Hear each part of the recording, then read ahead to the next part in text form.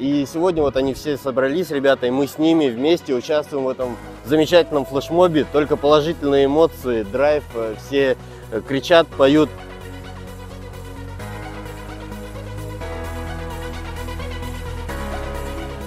Мы очень благодарны за то, что Россия будет с нами.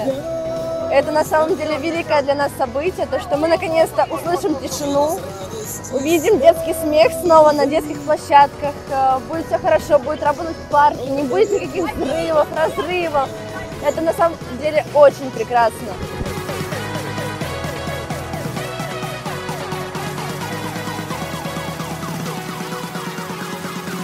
Россия!